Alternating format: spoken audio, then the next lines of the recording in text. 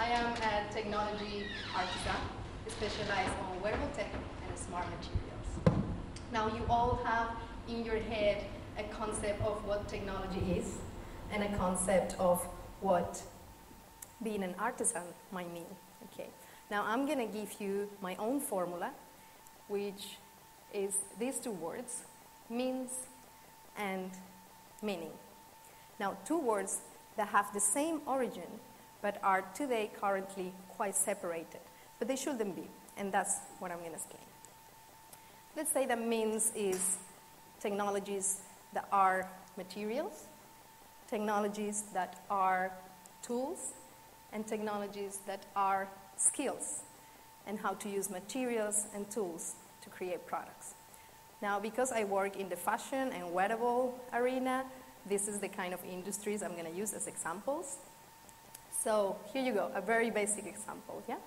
If you know deeply these materials and these tools, and you have these kind of skills, you can make this kind of product, right? Now, if we translate this to the future of knitwear, which is perhaps 3D printed materials, you will need, um, in order to achieve quite a high level of innovation, you will need to be an expert on this kind of materials, this kind of tools, and this kind of skills. Now, no wonder today craft and technology are so far separated. It is almost impossible to find in one unique person all of this expertise together. That's why collaboration is everything, and that is one of the main parts where we are going. Collaboration and obviously multidisciplinary collaboration.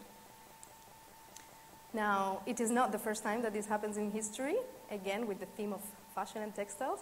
This is the 18th century when the sewing machine had to be domesticated and come into the homes. They had engineers and artisans working together to make these machines appeal to their consumers. And now, today, we have engineers together with doctors, athletes, and designers coming together to design wearable technologies, prosthetics, and implants that can make us superhuman. Now, this really can make anyone believe that everything is possible. It truly is. Everything is possible.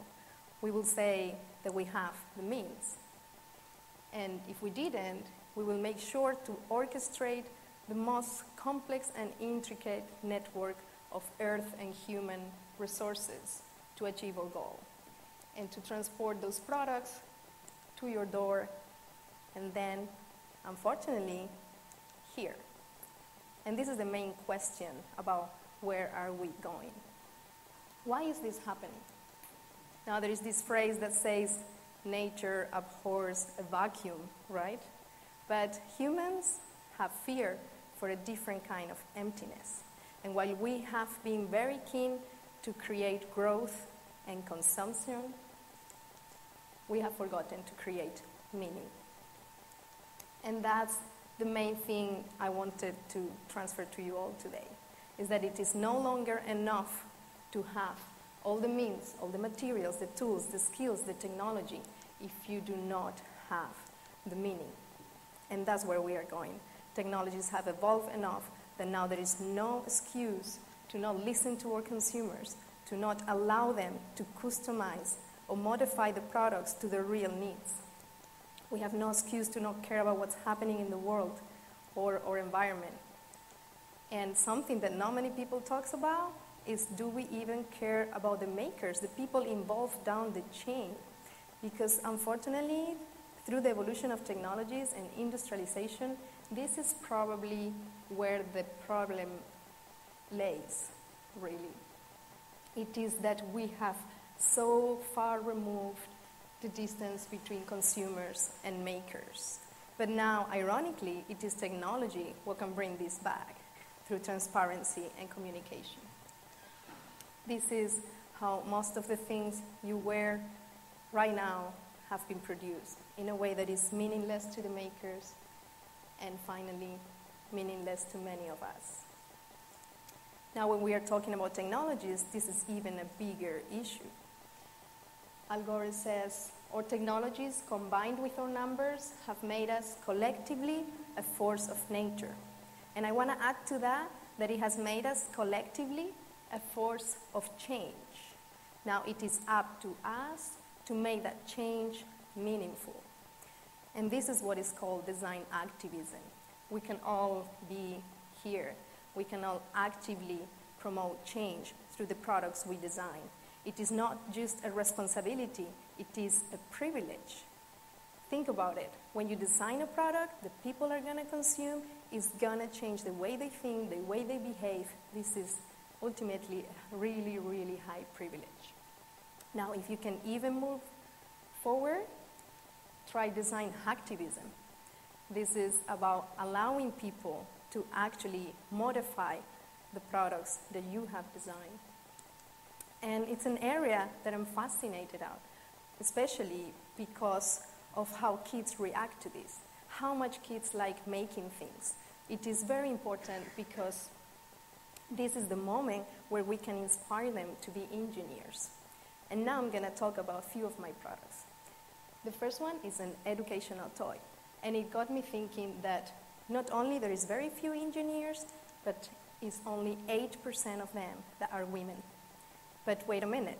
Now technology, it's becoming closer to fashion. Everybody's talking about wearables.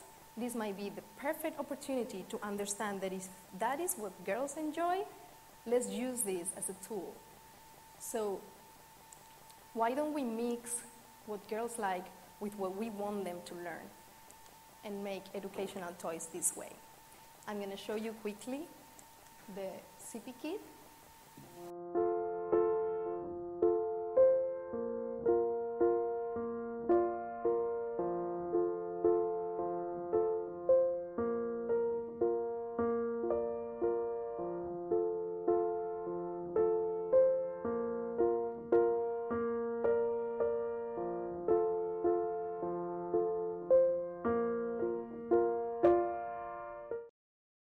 So easy that you will be surprised how many girls really are actually asking to learn electronics with it instead of feeling forced that they have to.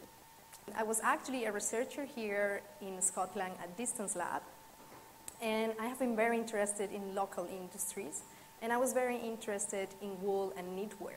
Unfortunately, this is right now, although being in the past one of the major industries in the UK, it's only 3% of exports that are about wool and knitwear. And I thought there must be a way that we can innovate this material as well to generate growth locally. So now is the moment where I ask one person of the public to come here and the rest of you to hold your phones with the flash on. Okay, what's your name? Abby, okay. You're just gonna try this on. Okay, and you're gonna tell everyone what do you think it is or how it feels, or you can look forward. Um, fairly soft. I Come over here. Yeah, I think we have to come over here. Yeah. Um, it's fairly soft. It's quite warm. Uh, Yeah. Will you wear it? Yeah. yeah, for sure. Okay.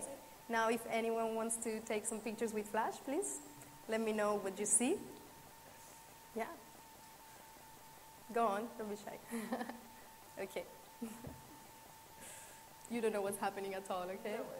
This is actually a highly fashionable product. It's locally produced with Scottish wool and it's highly reflective. This product can actually save your life when you're on the bike, on the streets, your kids when they're at school, etc. We're going to go from keeping warm to global warming, much more of a serious issue. It is something that I've always been keen on using smart materials, especially those that can change color under the sunlight to promote global warming awareness and also skin cancer research. So I developed this jewelry project where I have been for many years trying to integrate these kind of chemicals into crystals to create jewelry that appears to be white indoors and then changes color as soon as you go in the sunlight. And here we have some pictures of the crystals growing. And here finally um, the full collection. This is how it will look indoors. That's how it looks outdoors when the color bursts. I'm going to end here showing you the video about this collection, which is a one minute video, while I hope you reflect on the whole concept of ensuring that in the future we don't only make the most of our means, but also of our meaning.